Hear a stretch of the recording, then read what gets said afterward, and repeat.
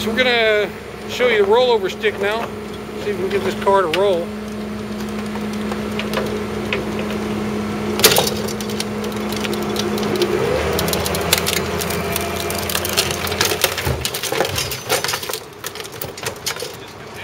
The stick here, we didn't have one with a notch cut in it, so we just used a 4x4. And this is our setup right here. So as you can see, it's not necessary to have a notched out PVC pipe. Now we're going to bring it the rest of the way. Got a 4x4 to hold it. Strong arm it down.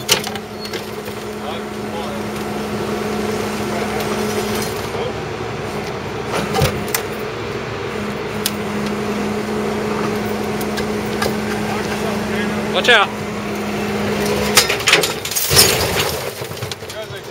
All right, ready to winch up on the deck.